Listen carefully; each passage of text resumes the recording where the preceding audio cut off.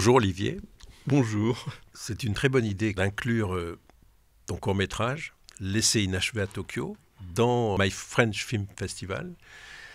Euh, donc c'est un plaisir de te rencontrer pour évoquer ce souvenir de ce court métrage que tu as réalisé il y a 40 ans. 1982, c'est une année euh, dont je me souviens avec beaucoup d'émotion et beaucoup de, précision aussi. C'est aussi une année où nous étions, toi et moi, au cahier du cinéma. Tu étais un jeune critique, j'étais un, moins jeune critique, mais j'étais aussi un... Et, nous avions fait ce très beau voyage à Los Angeles pour faire ces numéros des cahiers du cinéma qui sont sortis au printemps, Made in USA. On, avait tellement de matériaux qu'on en a fait deux. Donc, rétrospectivement, je me dis qu'en même temps, tu étais un journaliste extrêmement, euh, un journaliste et un critique extrêmement euh, actif, euh, curieux, voyageur, désirant rencontrer tout ce qui se faisait d'intéressant en 1982 à Los Angeles, et en même temps, tu fomentais ce film qui allait quand même déclencher d'autres films, et ton premier long métrage trois ans plus tard. Donc je voudrais que tu, reviennes un peu sur cette période. Quel était, tu étais un jeune homme, quelle était ton appréhension à l'époque du, cinéma et des arts en général? Parce que dans ce film, L'essai inachevé à Tokyo, ce qui est frappant, c'est l'affirmation d'un style.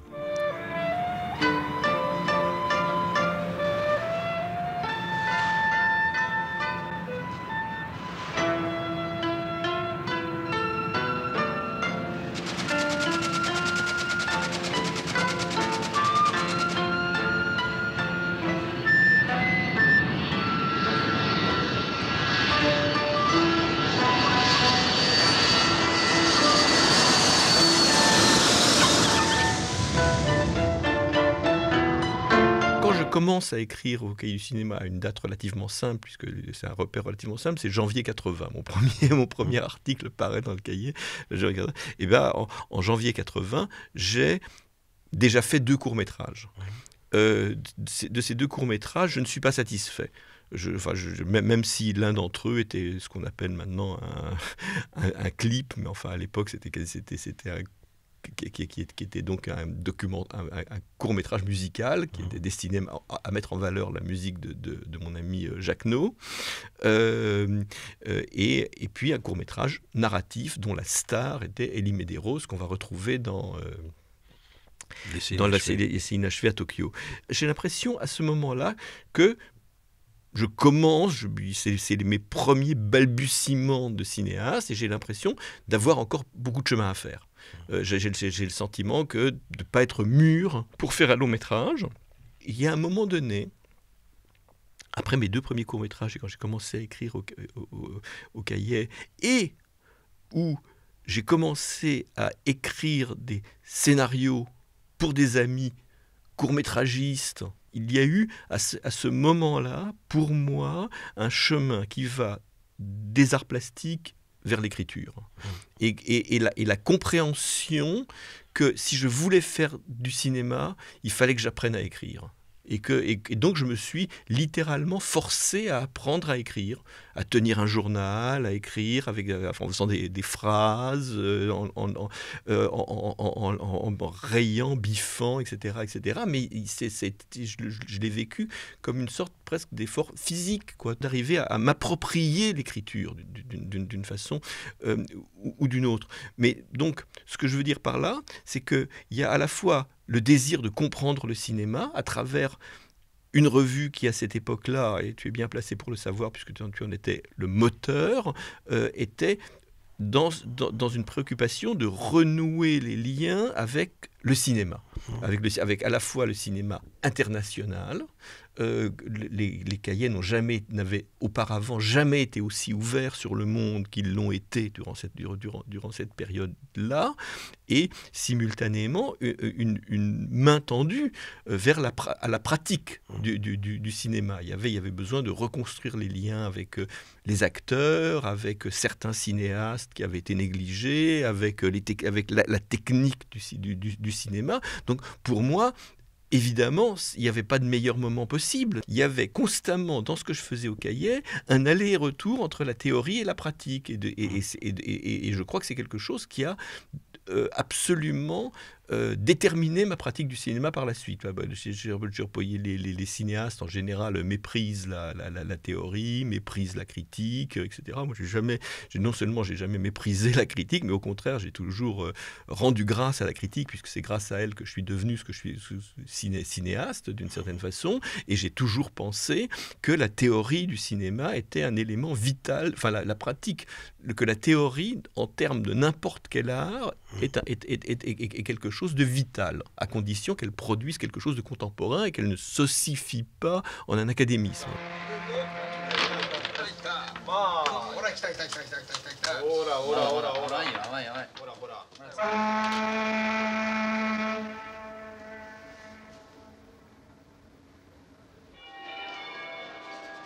Départ destination de Berne, vol Suisse 719, embarquement immédiat porte numéro 30.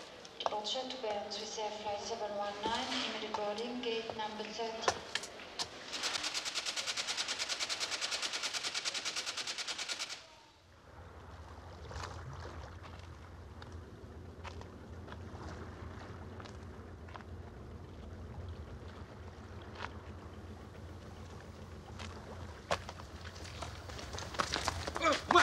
Il se trouve que quand j'ai écrit euh, L'essai inachevé à Tokyo, et ben c'est pour la première fois, euh, j'ai eu un, un, projet de court métrage qui est passé en plénière, c'était déjà pas, qui pas, pas, pas acquis, mais qui a, qui, a, qui, a, qui a obtenu à la deuxième relecture, etc., enfin péniblement, etc., enfin obtenu néanmoins une subvention qui m'a permis donc de mettre à profit euh, ce que j'avais imaginé, appris, euh,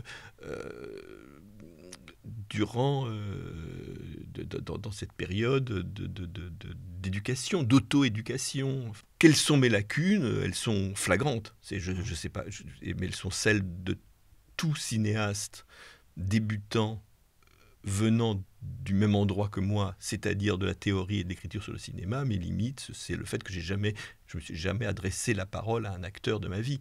Je ne sais pas comment on dirige un acteur. Je,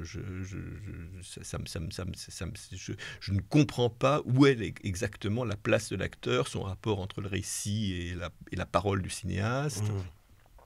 Euh, donc, euh, je chaque fois, pour moi, il y, a quelquefois un effet de, de, craie euh, sur un tableau noir quand, je, quand, quand, quand, j'écoute, non pas quand je regarde les inachevés à Tokyo, mais quand j'écoute les, mmh. les, inachevés à Tokyo, parce que je ne sais littéralement pas quoi dire aux acteurs.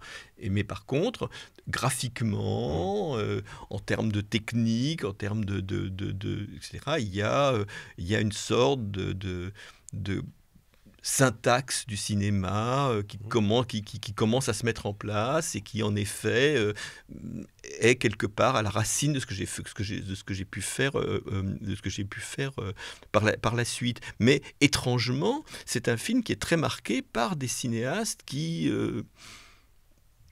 au fond ne représentent pas tant que ça pour moi. C'est-à-dire dans Sternberg je pensais. Non non? je, non, je, non je pense à Rivette ah c'est un, film, c'est un film extrêmement rivetien, ah, et même à sa manière ruisien, et, qui sont encore une fois deux cinéastes que j'espère, que j'admire, mais, qui au fond n'ont pas été des déclencheurs pour moi. Euh, mais enfin, néanmoins, euh, le, le, le, rapport entre une sorte de poésie, une sorte de mystère des mhm. images, le noir et blanc, euh, euh, le, le, secret, les documents qu'on fait passer à droite à gauche, etc. Tout, au fond, tout ça, euh, c'est un, un, film de cinéphile, et, et, beaucoup plus que mes autres films. Et, je, crois, je, je, crois que, que, que quand je sors de, de, de, de, Les Cinéastes à Tokyo, qui est reconnu, qui est un film qui a, qui a à l'échelle de ce que de, ce que de, dont, d'un court métrage, a eu cette petite reconnaissance d'être montré dans les festivals, d'être montré dans la plupart des festivals de court métrage, euh, et il a même été primé, puisqu'il il a été montré à Cannes, et en effet, il est, il a, il, a, il, a, il arrive, enfin, je commence à le préparer quand je finis avec toi de faire les, de faire les, les, les deux numéros spéciaux euh, euh, sur le Made USA. Ce qui me frappe aussi dans, dans ce film, c'est la fidélité rétrospectivement, c'est qu'il y a Denis Lenoir qui fait l'image. Mm. Tu travailles toujours avec lui. Mm. Il y a quelqu'un quand même qui est essentiel, avant, avant qui mm. que ce soit d'autre, c'est Elie Medeiros.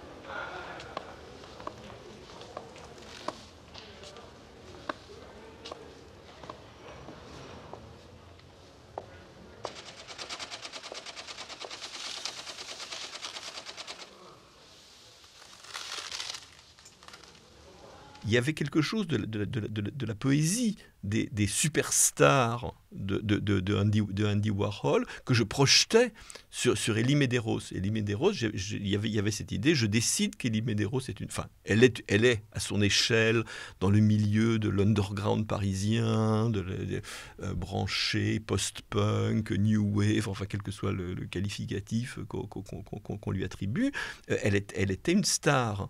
Et d'une certaine façon, il y avait, et, et, c'est vrai qu'elle qu'elle avait ce rayonnement. Et donc, moi, au fond, pour moi, au, départ, je pensais que ça suffisait, mmh. euh, que c'était une fin en soi. Bon, c'est pas tout à fait une fin en soi, mais, mais, euh, mais, mais, mais, tous mes courts-métrages étaient articulés autour, de, enfin, étaient construits euh, sur le glamour de, de, de, de, Ellie à une époque où la question du glamour n'intéressait pas grand monde dans, la, dans, dans, dans, le, dans, le, cinéma français, dans la pratique du cinéma français. Même si j'avais fait d'autres des courts-métrages avant, L'essai d'achever à Tokyo est un peu le point zéro parce que, en effet, c'est le moment où je rencontre euh, Denis Lenoir, où je rencontre Luc Barnier, qui sont euh, qui, resteront des collaborateurs essentiels de mes films, euh, dans, cette idée que le cinéma est un art collectif et dès le moment où j'ai fait mon premier long métrage, quelques années plus tard, Désordre en, en 1986, il y a cette idée que le cinéma, c'est un peu comme les groupes de rock, quoi. C'est-à-dire qu'il y a, il y a c'est, chacun, on, travaille ensemble, mmh. chacun à sa place, chacun dans son, chacun dans son mmh. domaine, mais en se complétant. Donc, donc il y a l'opérateur, il y a le monteur, il y a la costumière, il y a le décorateur. Euh, et euh, alors après, est-ce qu'on continue, est-ce qu'on continue pas? Il y en a qui quittent le groupe, il y en a d'autres qui rejoignent le groupe. Il y a des moments où on, il, y a des, il, y a des, il y a des moments où on a envie de faire des albums solo. je veux dire, disons que, il y a, il y a, il y a, mais, mais je crois, j'ai toujours cru, cru à cette unité de base mmh. du, du, du, cinéma où le réalisateur est ce qu'il est.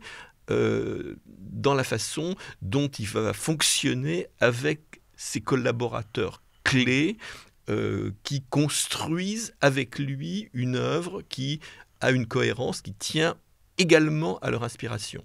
Laissez inachevé à Toko, il y a donc l'Asie, l'Orient est là, le, Japon est un, est un, est un ailleurs euh, et, est un fantasme. Hein. Voilà, mais, mais est-ce que c'est quelque chose qui va, qui va